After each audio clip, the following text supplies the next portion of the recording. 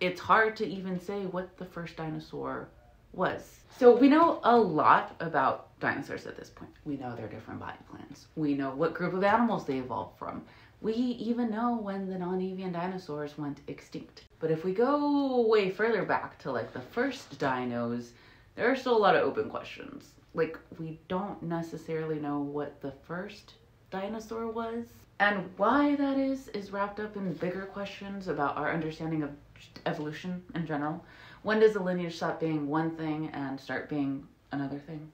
Well, on the latest episode of Eons Mysteries of Deep Time, we are to talk about this exact question. So check it out now, wherever you get your podcasts.